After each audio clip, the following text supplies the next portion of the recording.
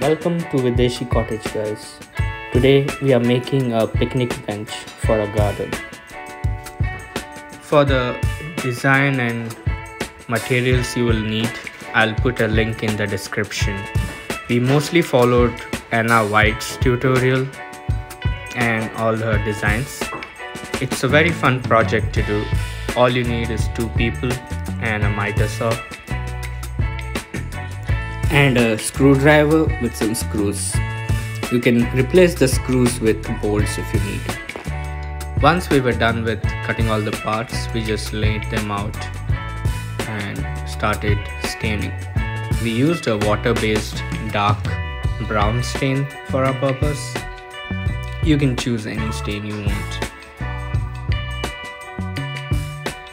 Water-based stain does seep inside the wood so it's good but it also requires more time to dry.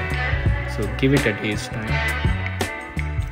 For assembling try to find a flat surface. We did not have one so we made a makeshift.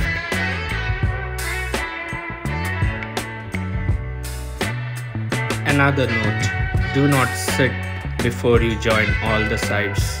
Otherwise you would end up with a broken piece like us looks good right? All that's remaining is adding some wood feelers. So let's get to it.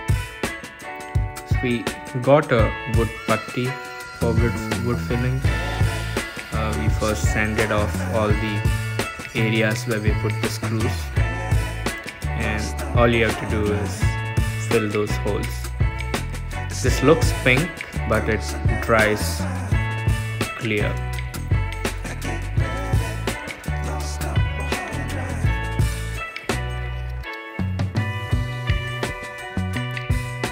Make sure to wipe off the excess before it dries completely.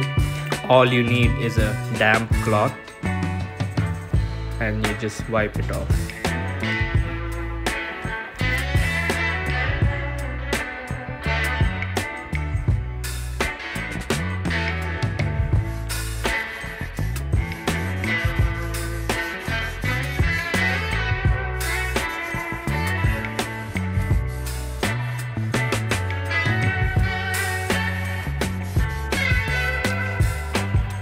For added protection, you can also use water seal wood sealer so that helps in rain and snow conditions.